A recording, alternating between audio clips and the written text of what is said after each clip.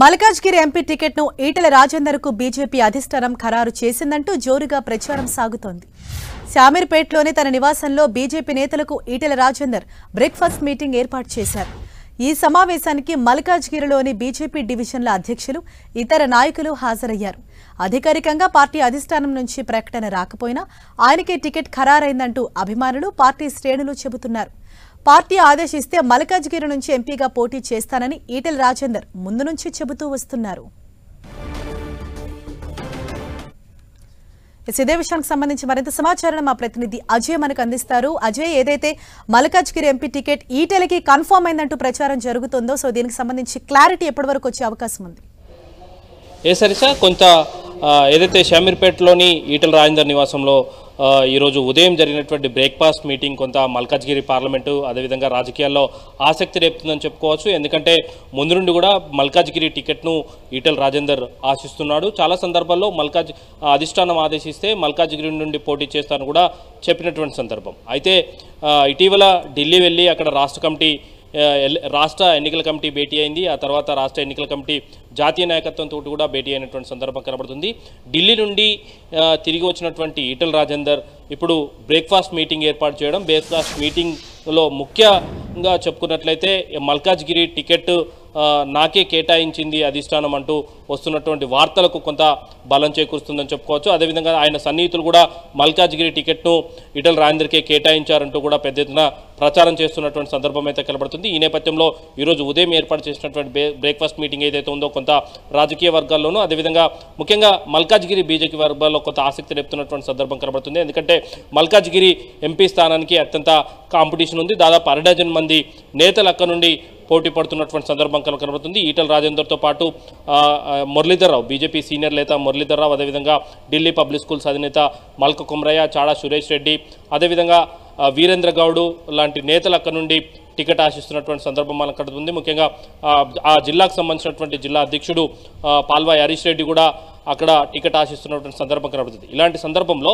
అధిష్టానం అధికారికంగా ఇంకా ప్రకటించపోయినప్పటికీ తనకే టికెట్ కేటాయించింది అంటూ ఏదైతే ఈరోజు ఏర్పాటు చేస్తున్నటువంటి బ్రేక్ఫాస్ట్ మీటింగ్ ఏదైతే ఉందో కొంత ఆసక్తిపరమైనటువంటి పరిణామాలు అయితే జరుగుతున్నాయని చెప్పుకోవచ్చు.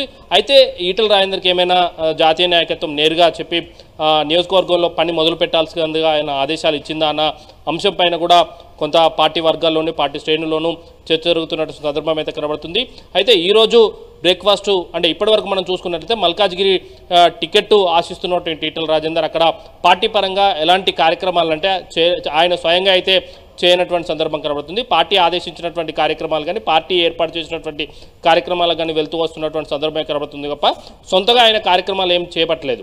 అంటే ఇతర నేతలు కొంత వాల్ రైటింగ్ కానీ ఫ్లెక్సీల ఏర్పాట్లు కానీ సొంతగా నాయకత్వం నాయకత్వంతో నాయకులతో సమావేశం కావడం కానీ జరుగుతున్నప్పటికీ కూడా ఈటల రాజేంద్ర అలాంటి కార్యక్రమాలు అయితే ఏవి మొదలు పెట్టలేదు ఈ రోజు బ్రేక్ఫాస్ట్ మీటింగ్ తోటే అది ప్రారంభమైందని చెప్పుకో చెప్పుకోవచ్చు కూడా. ఎందుకంటే అక్కడ నుండి. టికెట్ ఆశిస్తున్నటువంటి ఈటల రాజేందర్ అక్కడ పూర్తి స్థాయిలో పని చేసుకునేందుకు కార్యకర్తలతో బ్రేక్ఫాస్ట్ మీటింగ్ ఏమైనా ఏర్పాటు చేశారన్న చర్చ కూడా సాగుతున్నటువంటి సందర్భం మనం చూసుకోవచ్చు హరీష్ అజయ్ ఏదైతే ఇప్పటికే తెలంగాణలో పదిహేడుకి పదిహేడు ఎంపీ స్థానాలు కూడా మేమే కైవసం చేసుకుంటామని బీజేపీ చెప్తున్న నేపథ్యంలో అంటే అభ్యర్థుల జాబితాకి సంబంధించి ఎప్పటి వరకు ఒక స్పష్టత వచ్చే అవకాశం ఉంది. ఇప్పుడు మల్కాజ్గిరి ఎంపీ టికెట్ సంబంధించి ప్రచారం జరుగుతుందో అధికారికంగా ఎప్పుడు ఒక ప్రకటన రాబోతోంది. మనం చూసుకోవచ్చు పూర్తి స్థాయి ప్రకటన రావాలంటే జ బీజేపీకి సంబంధించినటువంటి జాతీయ ఎన్నికల కమిటీ భేటీ కావాల్సి ఉంటుంది. అది నేషనల్ పార్టీకి సంబంధించినటువంటి విషయం. ఇప్పటికే కొంత రాష్ట్ర ఎలక్షన్ కమిటీలతో అన్ని రాష్ట్రాలకు సంబంధించినటువంటి ఎన్నికల కమిటీలతో భేటీ అయినటువంటి జాతీయ పార్టీ అక్కడ నుండి వచ్చినటువంటి ప్రతిపాదనలన్నిటి కూడా తీసుకుంటుంది. దాదాపు నూట యాభైకి పైగా స్థానాలను ఒకే టైంలో ప్రకటించాలన్న ఉద్దేశంతో కూడా జాతీయ నాయకత్వం ఉన్నటువంటి నేపథ్యంలో దానికి సంబంధించినటువంటి పేర్ల క్రోడీకరణ అంటే జాతీయ వ్యాప్తంగా ఉన్నటువంటి అభ్యర్థుల క్రోడీకరణ అనేది జరుగుతుందని కూడా చెప్పుకోవచ్చు.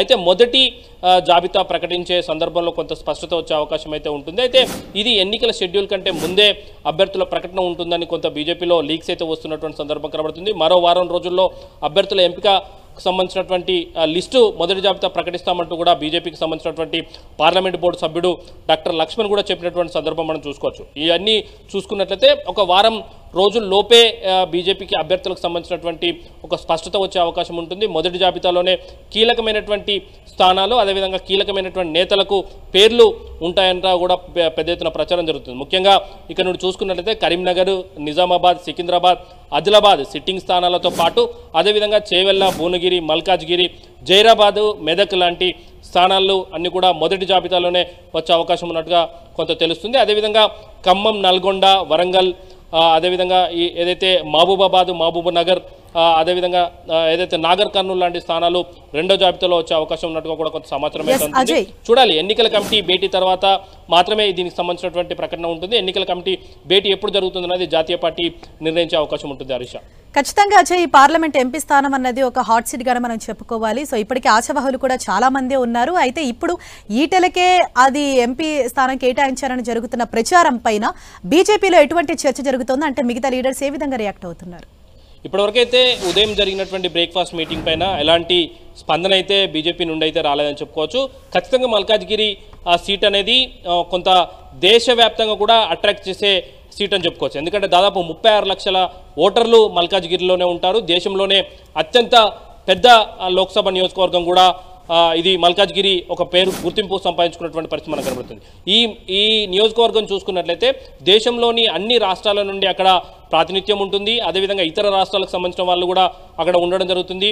ముఖ్యంగా నార్త్ ఇండియన్కి సంబంధించినటువంటి ఎందుకంటే కంటోన్మెంట్ ఏరియా మల్కాజ్గిరి పార్లమెంట్కి వస్తున్నటువంటి నేపథ్యంలో ఆ నార్త్ ఇండియన్కి సంబంధించినటువంటి మిలిటరీ ఆఫీసర్స్ కానీ వాళ్ళందరూ కూడా అక్కడే ఉంటున్నటువంటి నేపథ్యంలో కొంత ఈ మల్కాజ్గిరి స్థానం దానిపైన హాట్ టాపిక్గా ఉండే అవకాశం ఉంటుంది. ఇక్కడ నుండి ఎవరుకి టికెట్ వస్తుందన్నది కూడా అంతే ఆసక్తి రేపుతున్నటువంటి సందర్భం మనం చూసుకోవచ్చు. దాదాపు అరడజన్కి పైగా మంది నేతలు ఇక్కడ నుండి టికెట్ ఆశిస్తున్నటువంటి తరుణంలో ఎవరికి టికెట్ వస్తున్న దానిపైన కొంత ఆసక్తి రేపుతున్నటువంటి తరుణంలో ఎవరికి వారు తమకే టికెట్ అంటూ కొంత ప్రచారం కూడా చేసుకుంటున్నటువంటి సందర్భం మనం చూసుకోవచ్చు. ముఖ్యంగా మురళీధర్రావు అయితేనేమి మల్క కుమరయ్య లాంటి నేతలు విస్తృతంగా ఇప్పటికే వాల్ రైటింగ్స్ అయితేనేమి ఫ్లెక్సీలు అదేవిధంగా యాడ్స్ రూపంలో కూడా కొంత డబ్బులను ఖర్చు చేస్తున్నటువంటి సందర్భం కనబడుతుంది. అదేవిధంగా ఇప్పుడు ఈటల రాజేందర్ కూడా నేరుగా బ్రేక్ఫాస్ట్ మీటింగ్తో మొదలుపెట్టి దాన్ని మరింత ముందుకు తీసుకెళ్ళే అవకాశం అయితే లేకపోలేదు. అదేవిధంగా ఏదైనా జాతీయ నాయకత్వం కూడా ఆయన నియోజకవర్గంలో పనిచేసు చేసుకోవాల్సిందిగా ఇట్లా ఏమైనా హింట్ ఇచ్చింది అన్నది కూడా మనం ఇక్కడ చర్చించుకోవాల్సిన అంశం అయితే ఉంది. ఈ ఇదే ఈ అంశం పైన ఉదయం జరిగినటువంటి బ్రేక్ఫాస్ట్ మీటింగ్ పైన ఈ బీజేపీ నేతల నుండి ఎలాంటి రియాక్షన్ అయితే ఇప్పటివరకు రాకపోయినప్పుడు కూడా ఖచ్చితంగా రియాక్షన్ అయితే వచ్చే అవకాశం ఉంటుంది. ఎందుకంటే ఎక్కువ మంది లీడర్లు నుండి టికెట్ ఆశిస్తున్న నేపథ్యంలో ఖచ్చితంగా వారి నుండి కూడా రియాక్షన్ అయితే ఉంటుందని చెప్పుకోవచ్చు Harish. Right thank you Ajay